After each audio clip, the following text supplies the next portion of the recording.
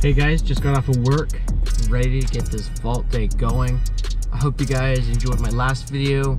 Um, gonna be putting more work into this, hopefully trying to get this something of a, not daily, but you know, a little few videos a week, just trying to get myself, uh, you know, give everybody a little bit update on how I'm vaulting, especially for family and friends, stuff like that.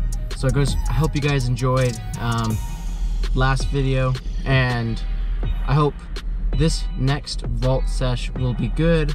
I'll be trying to get some good vaults. Uh, I'll be working on getting my step to be on instead of under and trying to take it up then so I reduce energy and stuff like that. It's a bunch of jargon that it's a little, little stupid stuff like that. Um, but yeah, I guess I'll see you guys at practice and um, hope you guys enjoyed the time lapse on the way there.